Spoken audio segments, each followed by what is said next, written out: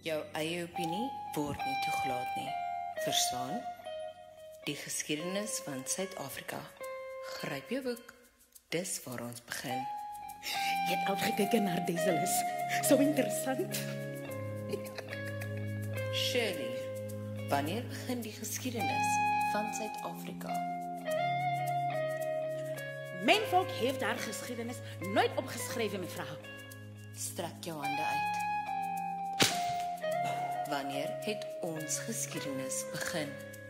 Mijn volk leeft hier al zo lang als de twee oceanen, mevrouw. Uit. Wanneer het ons geskiedenis begin?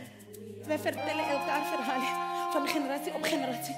En doen dit al duizenden jaren. Ons kan nie soveel brutaliteit gebruik nie. Geschiedenis begint bij hoe de zebra aan zijn troepen komt. Die geskiedenis van ons land begin by Jan van Riebeeck. Herhaal wat ek sê. De geschiedenis begint bij twee oceanen die elkaar iedere dag begroeten en liefhebben. Julle swartes het geen geskiedenis. Julle doen dit nie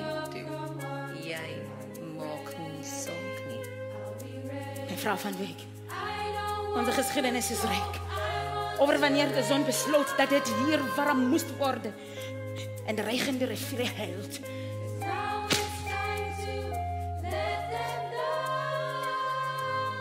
Nog een keer, dan kan jy buite in die hoek gaan. Wanneer het ons geskiedenis begin? De Zuid-Afrikaanse geschiedenis begint in de 17e eeuw. Mevrouw,